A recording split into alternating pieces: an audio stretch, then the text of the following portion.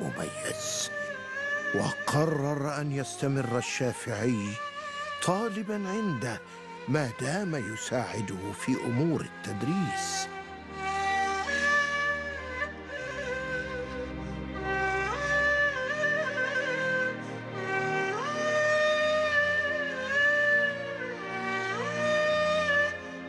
أرى أنك سعيد يا محمد.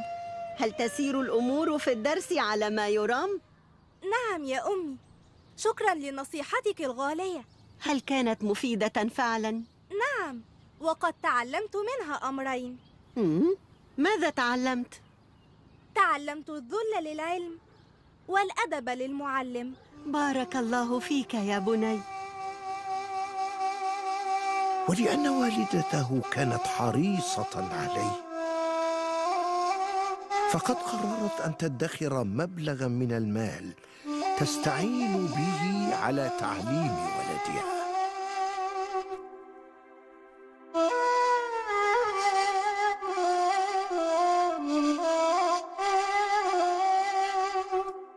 ولأنها تعرف أن كل فروع المعرفة مهمة لطالب العلم. فقد أرسلت الشافعي لإحدى القبائل في البدو ليتعلم أشعار العرب. ونصحته بأن يمارس الرياضة حتى يشغل وقت فراغه. ولذا سيصبح الشافعي عالما فقيها أديبا ورياضيا أيضا.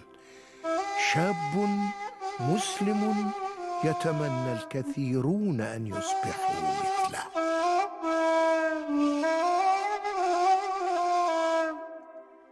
كانت مدينة الرسول الكريم صلى الله عليه وسلم واحدة من أهم محطات الإمام الشافعي. وقد تتلمذ على يد إمامها العالم مالك بن أنس.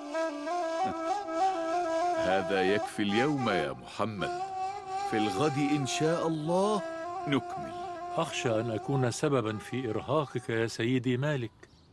على العكس أنت طالب علم مميز تذكرني بشبابي.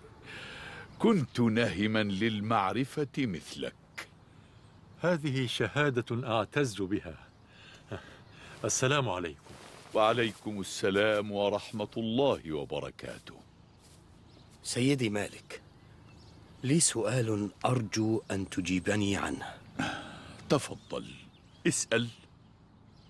بينما أنا أجلس مع بعض أصدقائي كانت هناك حمامة تهدل من وقت إلى آخر وأزعجني صوتها للغاية فسألني أحد أصدقائي عن سبب غضبي. فحلفت له بالطلاق أن هذه الحمامة لا تكف عن الهديل ما أسوأ ما فعلت ألم تسمعني أحذر مرارا من الحلف بالطلاق؟ هذا ما حدث ف... فهل امرأتي طالق الآن؟ أنت حلفت أن هذه الحمامة لا تكف عن الهديل والحقيقة أنها تكف من وقت إلى آخر ولا تستمر في الصياح طوال الوقت. ولذا فامرأتك طالق للأسف. هذا ما توقعته شكرا لك. السلام عليكم.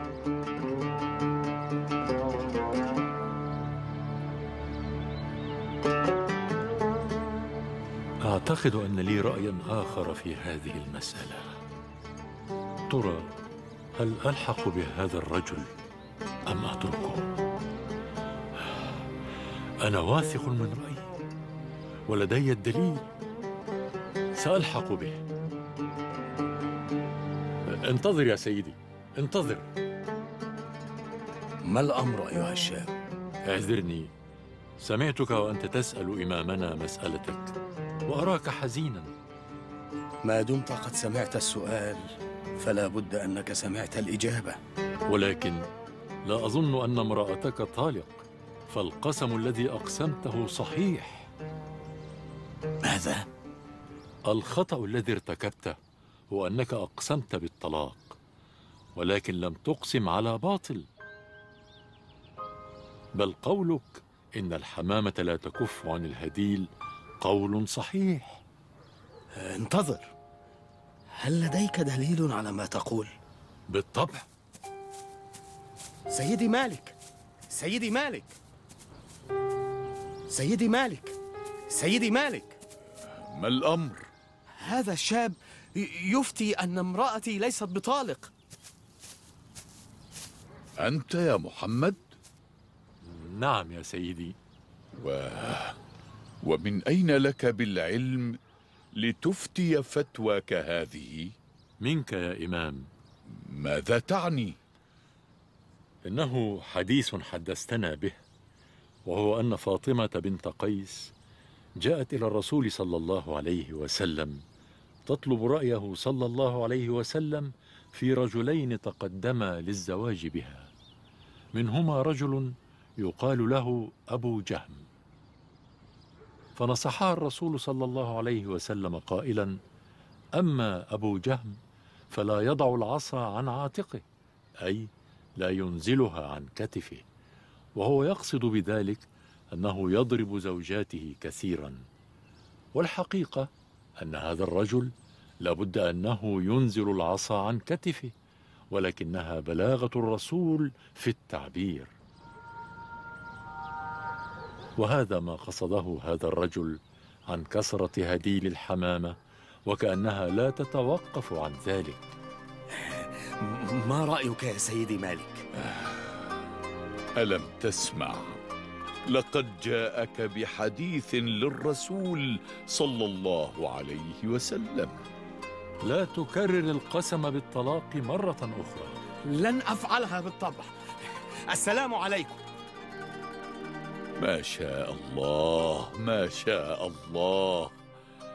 والله إني لأتوقع لك ما لم أتوقعه لأحد من تلاميذي.